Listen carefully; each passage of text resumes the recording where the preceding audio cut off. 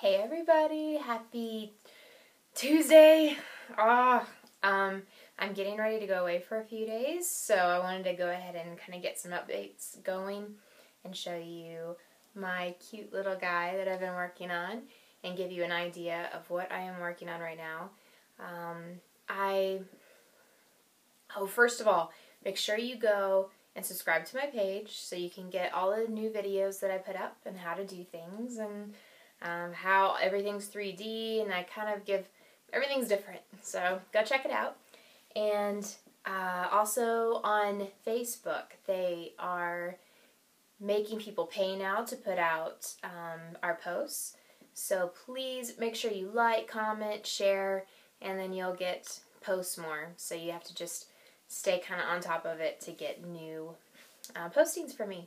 Anyway, over that, let's move on and talk about Mr. Childlike Interest. Or Trust. What is it? In Childlike Trust. That's it.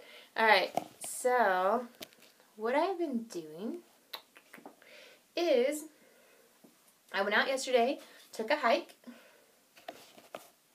and got me, you know, all my favorite little things that I talk about all the time.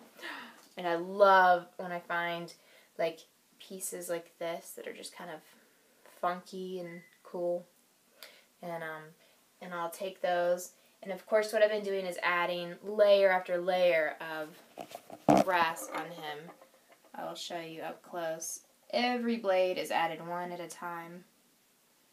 So you kind of get an idea and then I go in and add the real stuff, which you can't tell when you're far back here.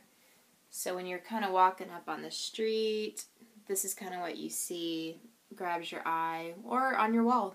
It's nice, it just kind of grabs you and um,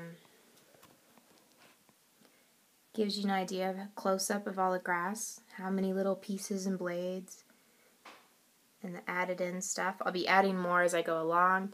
I have to work on him for right now. And then kind of go back to the grass.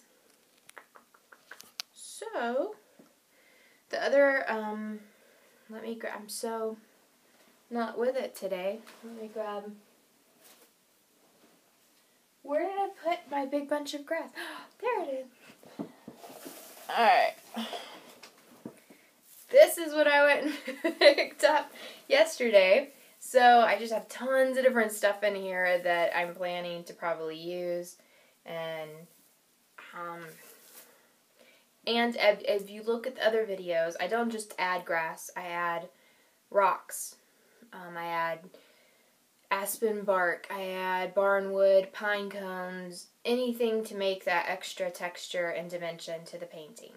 So, I know it sounds really difficult to grasp. That's why I love when people meet me on the street and they can see it in person. And normally, actually, the the kids are the ones that grab the parents and pull them over because and it's so fun to have kids interested in the art because normally they're not you know interested in fine art and so they'll go grab their parents and bring them over and be like look there's real stuff in this and it takes the parents just a minute to find it but it's nice once they do and i also add uh, real pine scent to the pine trees. It sounds kind of corny, but when you open up your fine art piece from Wyoming, wherever you are in the country, uh, you just smell the beautiful aroma of what it smells like here, which is not manure most of the time. It's pine. It's really nice.